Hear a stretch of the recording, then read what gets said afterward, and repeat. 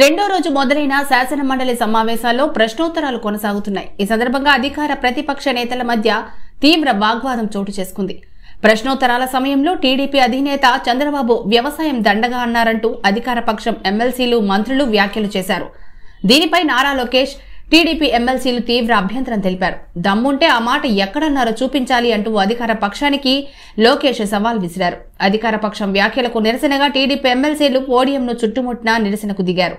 జగన్ అధికారంలోకి వచ్చిన తరువాత రైతులు ఆత్మహత్యలు చేసుకునే పరిస్థితి వచ్చిందని ధాన్యం బకాయిలు కూడా చెల్లించలేని రైతు వ్యతిరేక ప్రభుత్వం వైసీపీ అంటూ లోకేష్ టీడీపీ ఎమ్మెల్సీలు నినాదాలు చేశారు. ఆధారాలంటే ఎక్కడి నుంచి తెస్తామంటూ టాపిక్ను డైవర్ట్ చేసేందుకు వైసీపీ మంత్రులు ప్రయత్నించారు. చంద్రబాబును ఉద్దేశించి మాట్లాడలేదంటూ అధికార పక్షం ఎమ్మెల్సీలు మంత్రులు వింతవాదనకు దిగారు.